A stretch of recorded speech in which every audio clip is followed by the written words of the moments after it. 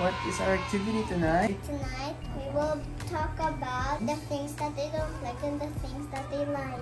So can you sit on your chair and uh, take a look at your pictures? Okay, so right in front of you are the pictures of the things that make you happy and the things that you don't like. When you pick one of the pictures, put them on the left side for the things that make you happy and on the right side for the things that you don't like. Let's start from the farthest left. Well, what is that picture? A snake. Do you like snakes? No, Why? because they might bite me. I don't like to be sick. Like to be sick? Mm-hmm.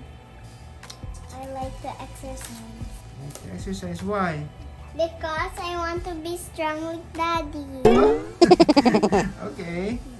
What's don't that? like zombies. You don't like zombies or monsters, yes? Uh, I don't like spiders. And I like the tornadoes. I like to ballet and dance. Does that make you happy, dancing? Yes? Yes, with daddy. Okay, next. Playing video games.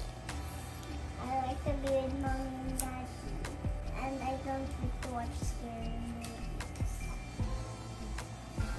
Wow, good job. That's it for now guys. See you next time. Bye!